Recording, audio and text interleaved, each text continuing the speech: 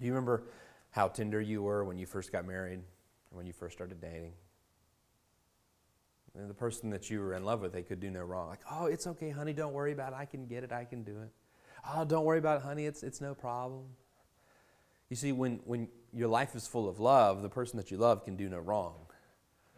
But when you're angry and resentful and bitterness and filled with bitterness, the person that you love can do no right.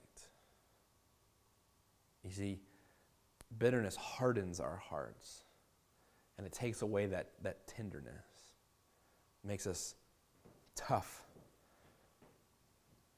On the way back home from the Indiana Men's Retreat this past weekend, I, uh, I stopped and got a burger and they asked, How do you want it cooked? And I said, I want it medium because I don't want it to be tough. Now, some of you, you like your, your meat cooked differently, and some of you, you like it just absolutely well done, so it's like a charred grilled brick, and some of you, you like it rare, so it's just like barely hurt the cow and then put it on a plate.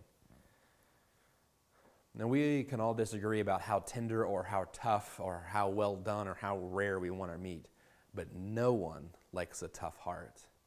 Everyone enjoys being around people who have a tender heart.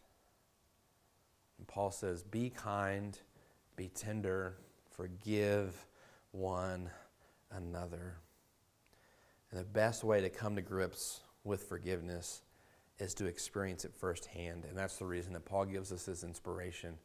Be ye kind, tenderhearted, forgiving one another, even as God for Christ's sake hath forgiven you, even as God has forgiven you for Christ's sake. God forgave me not for my sake, but for Jesus' sake. God forgave me not because I deserved it, but because of Jesus.